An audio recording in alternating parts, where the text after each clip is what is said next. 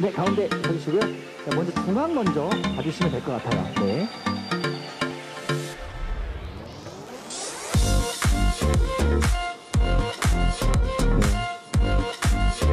네, 왼쪽 한번 볼까요? 네. 하트도 한번 좀 해주세요. 네, 우리 기자님들이 하트를 되게 좋아해요.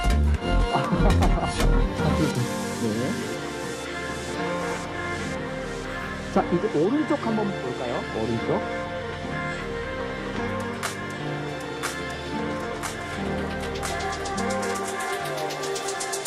네, 감사합니다. 간단하게 인터뷰 한번, 네, 인터뷰 한번 하도록 하겠습니다. 네.